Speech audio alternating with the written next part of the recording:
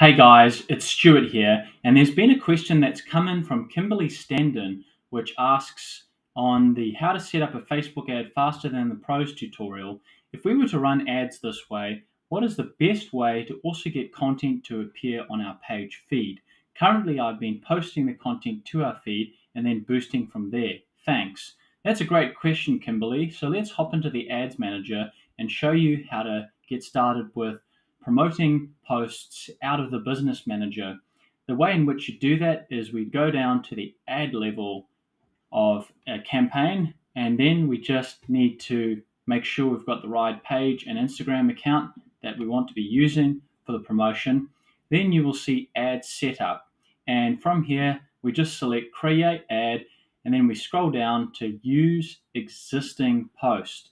That will then give you the opportunity to select publish post, which is what appears on your page.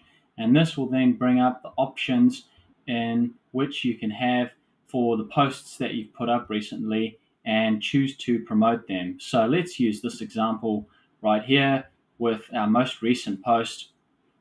And you can see it's the post that shows up at the top of our Facebook page. We then just can add a call to action button if we want if you don't want to add a call to action button, you can just hit publish. That way, it shows up in your ads manager and it also shows up on your page as well. So the advice would be publish the post onto your Facebook page, then come into the back end of the business manager and use the existing post and promote it. Hope you found this useful.